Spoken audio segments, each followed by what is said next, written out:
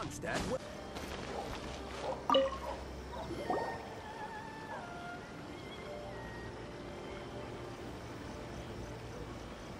Hi, Catherine. It's us.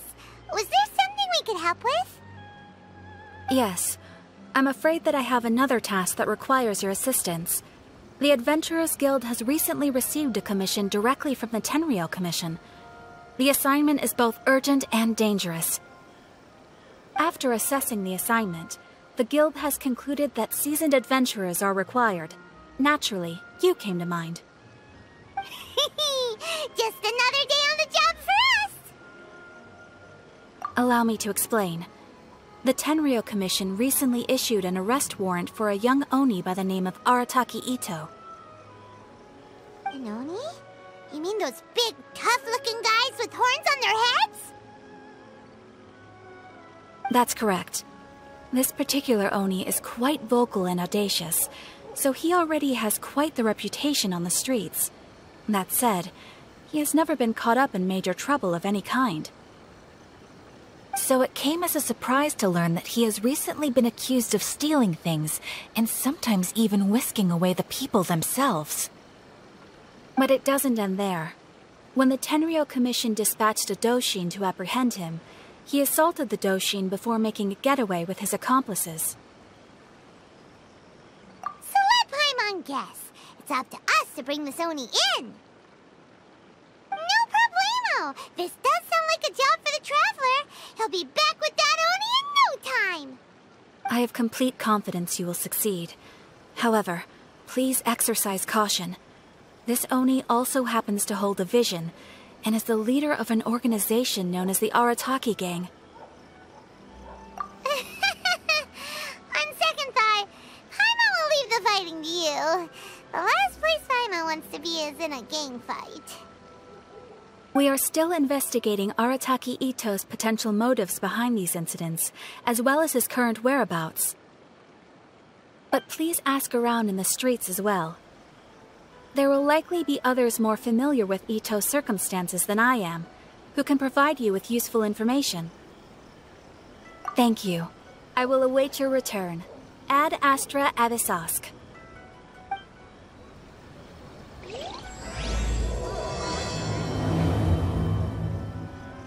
Well, let's start asking around on the streets. Hopefully we'll learn a little more about this Arataki Itto guy and figure out where he might have run off to. Uh, Arataki Itto? Yeah, I've heard of the guy. Word is he did something monumentally stupid, then ran off before they could catch him. And to be completely honest, I was a little surprised when I first heard it. Okay, well, I mean, not that surprised. Wait, you mean he already had a bad reputation? No, not exactly. He's just very overbearing in everything he does. Big and brash and always making a ruckus. So, on the one hand, he's a larger than life kind of guy. But on the other hand, he's emotionally volatile. When he's in a good mood, he's as high as a kite, but when he gets upset, he gets completely enraged. I don't personally see him as a bad guy, but I guess I wouldn't put it past him to get all riled up and lose control. Hmm. You know, I'm afraid that I'm not too sure myself. I keep a pretty good eye on what's happening in the city, and as far as I can tell, he just idles the days away. When someone asks for it, he's willing to lend a helping hand, but other than that, he's just out making a scene with the kids on the street or his gang. if I had to guess, his lack of income finally drove him to do something more drastic to make ends meet.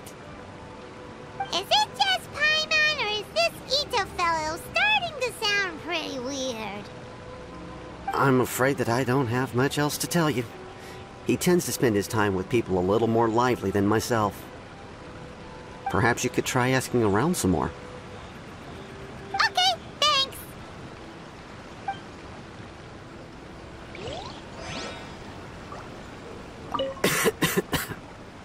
Keep asking around. You might be able to find out more. Arataki Itto? Hmm, oh yeah. I heard about that whole thing. I'm sure it must have been a mix-up on the Tenryou Commission's end. He could never do anything so dastardly. Huh? How can you be so sure? Is he really as trustworthy as all that? no, perhaps you misunderstand me. When I said he could never do anything dastardly, I meant he literally doesn't have what it takes. Mm, maybe a story will explain it better. So, he used to spend a lot of time playing rock, paper, scissors and hide and seek with the kids on the streets. Kids, being kids, aren't exactly the most difficult to outsmart. I'm sure you can see what I'm getting at here. He used to lose all the time, sometimes catastrophically. Though, right? No, not at all. The one time I saw him win, he started jumping around and yelling, I won! I finally won! I'm unbeatable! And so on. Then he took the kid's candy as his prize and ate it right there in front of him. Ugh, that's just plain wrong. He did take it way too far that time. The poor kid started crying, so I stepped in and gave Itto a scolding. He was pretty quick to admit that he was fully in the wrong, and it wasn't long before the kid had stopped crying and was laughing and playing again as if nothing had ever happened. In fact, the children quite like playing with him because he's always serious about the stakes and never throws a game on purpose. So, I suppose what I'm trying to say is, is a guy who can't even beat kids at a children's game really gonna be capable of these kinds of diabolical deeds? Huh. He doesn't sound like a bad guy at all. In fact, he kind of sounds like a man of integrity. Yes, my thoughts exactly. Still, the Tenryou Commission's evidence against him is supposed to be irrefutable. So, I'm not trying to condone his actions or anything. If he really has messed up big time, then he should face the consequences just like anyone else. Thanks for the info. We'll keep asking around.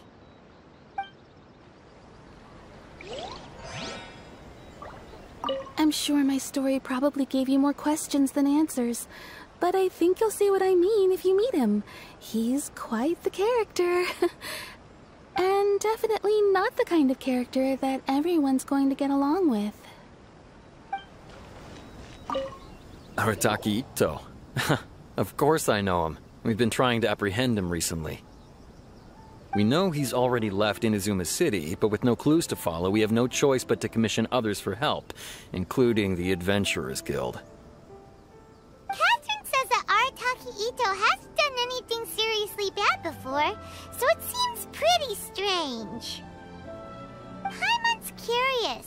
Is there any evidence of all this stuff he's accused of? Yes, of course. Otherwise, we'd never have put so many people on the case. For starters, most thieves will try to devise a way to conceal their identity, but for an Oni, the horns are a dead giveaway. I mean, the whole city could have recognized it was him. At first, he was just one of our suspects, but when we went to investigate, he personally confessed to everything and started trying to provoke the officers. What's most frustrating is that he then managed to escape along with his entire gang. He must have been planning the whole thing right from the start. Of course he did. Whether material or psychological, there is plenty of evidence either way. He's never had a Mora to his name his entire life, and he's never kept down a real job. Word is that he also takes care of someone in his gang, and that the burden of it takes quite the toll on him. After scrounging for a living all these years, maybe he thought that being the bad guy would be an easier ride. As for his psychological motives, it's a bit embarrassing to talk about, but we um, confiscated his vision during the Vision Hunt Decree. At the time, Arataki Itto put up quite a fight. It took a huge amount of manpower and resources, and in the end, we had to enlist the help of Kujo Sara to finally secure his vision. The Vision Hunt was a mistake. but we never expected that he would go to such extreme lengths to take revenge on us. He does sound a little unstable, just like people have been saying. If the two of you are able to capture Arataki Itto, please bring him straight here. We'll handle him from there. Thanks for all the info. Hmm. Too bad we still don't know where he could have run off to. We already got word on the street, so maybe it's time to talk to really a real specialist. cases. Remembers that there's a detective agency here in Inazuma. Maybe we can try asking there. If you're able to capture him, just bring him back here. Though I'm sure he'll be quite a handful in custody as well. Have we really run out of exciting cases?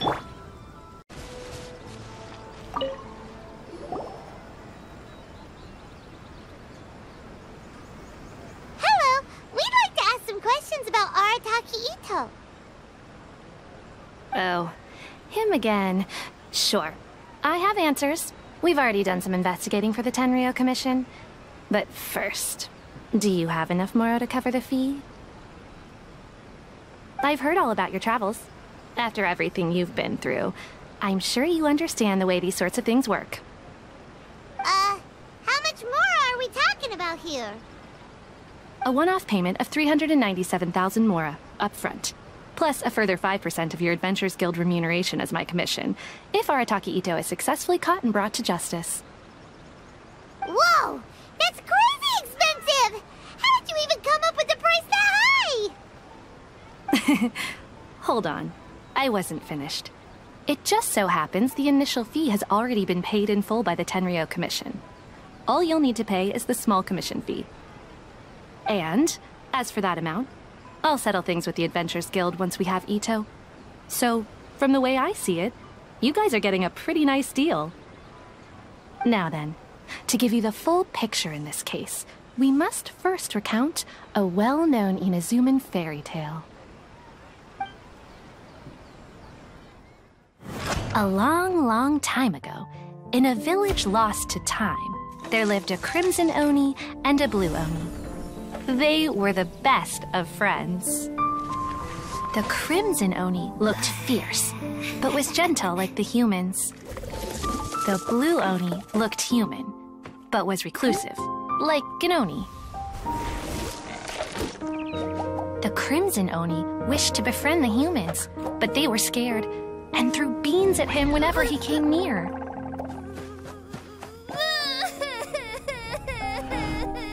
So the blue Oni said to the crimson Oni, Akka, I'll cause trouble in the village. You'll come and stop me. Then the humans will accept you. As planned, the Crimson Oni chased the Blue Oni away. The Crimson Oni's deeds spread throughout the land, and people finally accepted him.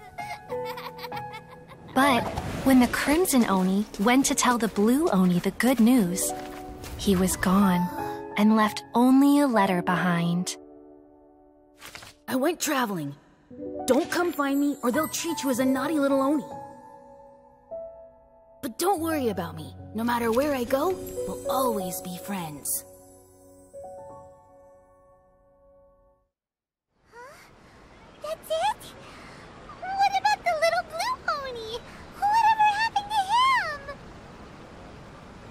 I suppose the Blue Oni simply disappeared, never to be seen again. Only the Crimson Oni remain now. But, but, the blue Oni was just an innocent little kid. Of course it does. Otherwise, I wouldn't go through all the trouble of telling it. One interpretation is that the story is actually broadly based on historical events and that Arataki Itto is, in fact, a descendant of the Crimson Oni. What I'm trying to tell you is that the Oni have sacrificed a lot in the past in order to finally integrate themselves into human society. But there are still some volatile personality traits in the Oni bloodline. Every generation of Oni inherits these traits. So while Arataki Itto has never been known to commit a wrongful act in the past, can we ever completely rule out the possibility of him one day allowing this side of him to take over?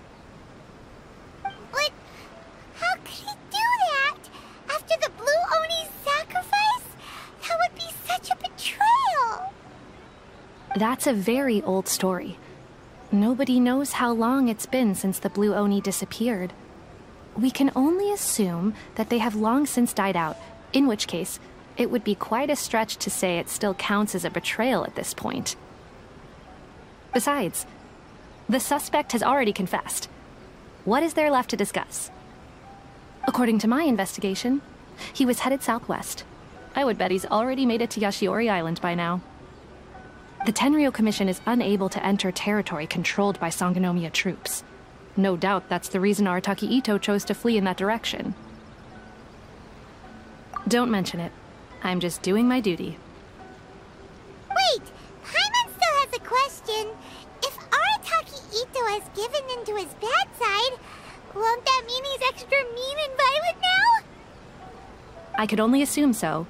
Judging from his previous bouts, he is a skilled fighter with a lot of brute strength. Whether or not you'll be able to handle him, that I do not know. Okay,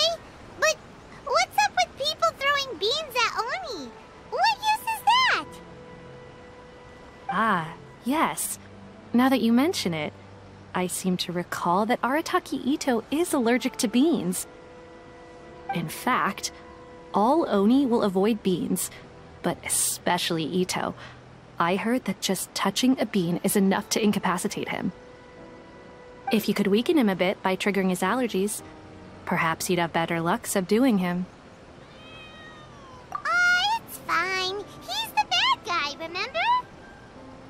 It just so happens that I have a bag of beans right here.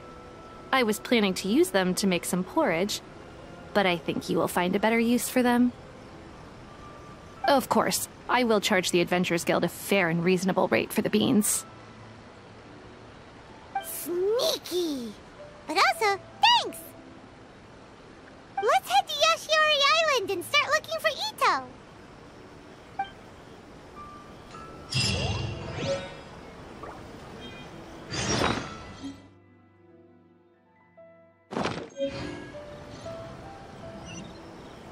Thanks for your patronage, and good luck. Don't forget to come with a bigger budget next time. Please speak to President Sung. I'm just. According to Detective Sango, Itto should be somewhere around here. Catherine mentioned that he has a vision. Why not see if you can track him down using elemental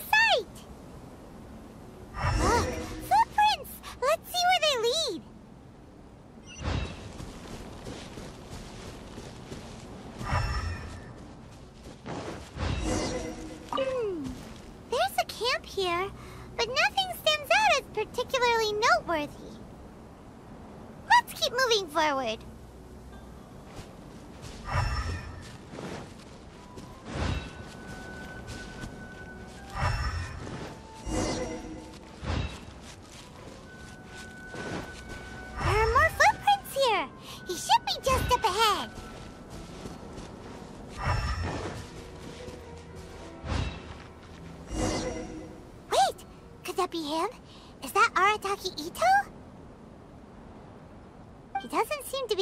This way.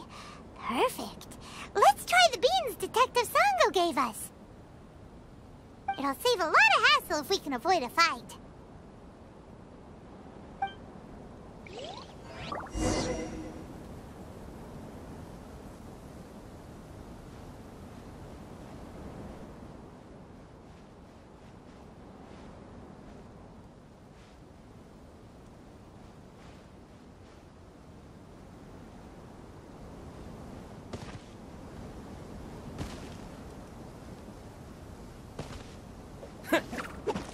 Beans!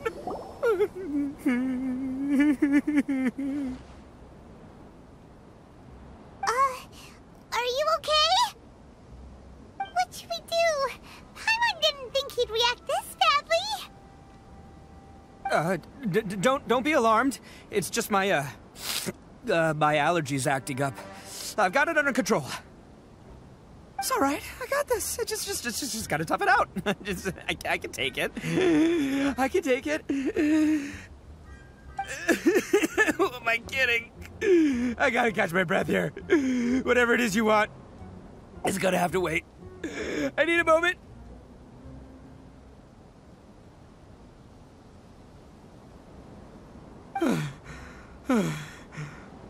need a moment.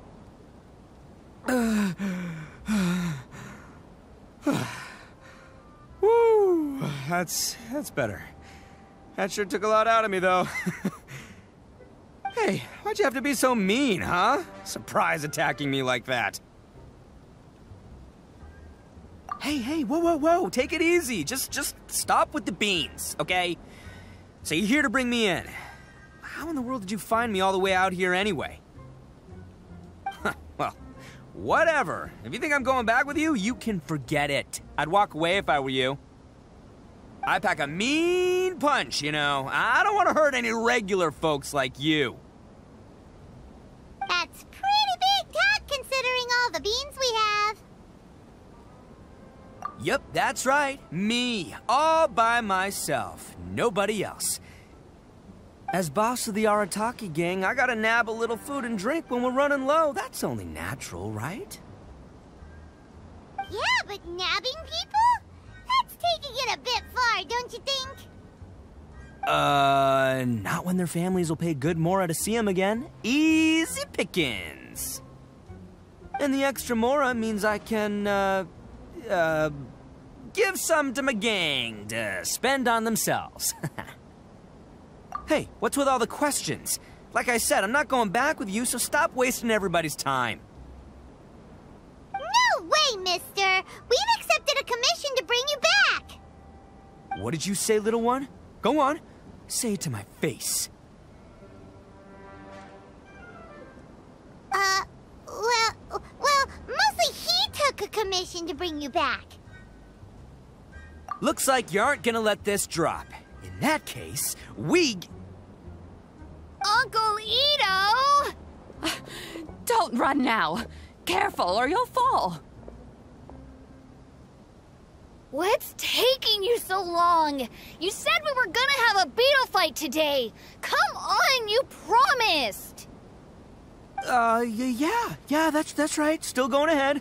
But y- but you see, uh, I- I've been out here for ages, and I still can't find a beetle that I like. So, just give Uncle Itto a little more time, okay? Huh? Who are they? Are they your friends? Uh, yeah, that's right. I told them not to come, but what can I say? They were just too worried about me. it's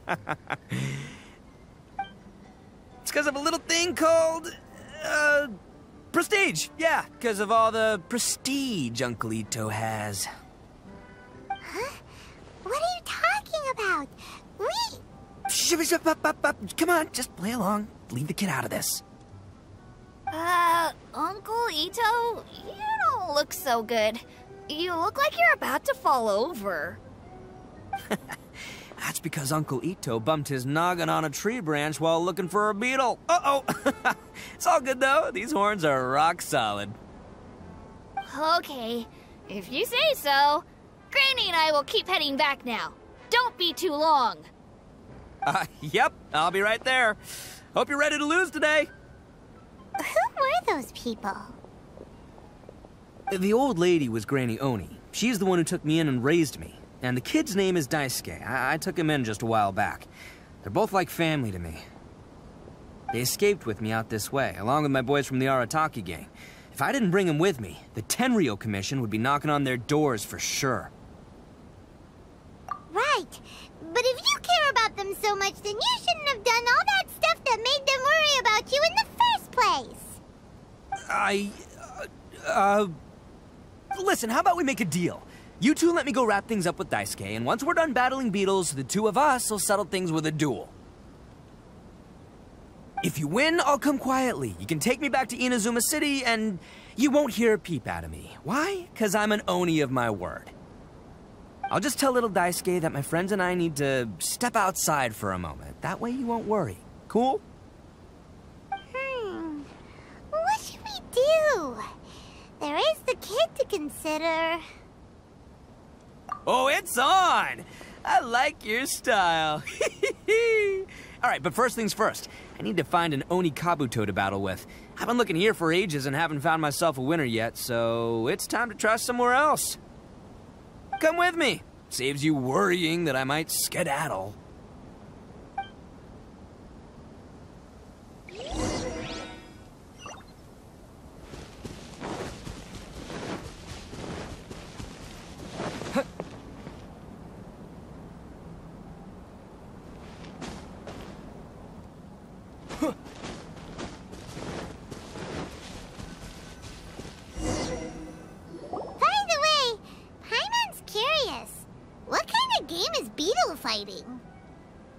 You guys have seen Oni Kabuto out in the wild, right? Even though they might look menacing on the outside, they're big softies on the inside. Most of the time, they're just sitting there doing nothing. But let me tell ya, once the Oni Kabuto start fighting, ho ho ho, they won't let anything get in their way. The grand game of beetle fighting is a match where your beetle tries to flip the other beetle onto its back. Hey, it's not just some kid's game, okay? There's way more to it than that. I have taken part in more beetle fights than you would believe. At least 800. I may have even crossed the thousand mark by this point. Anyway, after a while, you can tell a beetle's fighting potential just by looking at its shape, size, and the patterns on its body. But it's not just about all the physical stuff. Oh no, your Oni Kabuto's got to be in the right headspace as well. If it's not up for a fight or doesn't have the guts, well, then it's game over. Boy, are you two lucky you ran into me. When it comes to beetles, I'm the expert that the experts go to. I'll show you all you need to know. But we're not the ones that will be playing. We're just here to keep an eye on you. Oh, yeah. Yeah, anyway, not a problem. You two might think I'm just tooting my own horns here, but just you wait. I'll make you a beetle expert in no time. And by the way, that kid has one tough beetle. We can't underestimate it. You have to find a real lean, mean beetle warrior. Okay, so he's not the sharpest horn on the Oni. Okay, let me see. Ah, there. Let's head to that hill. I'll bet my bottom Mora we're gonna find some major league Oni Kabuto hiding out there.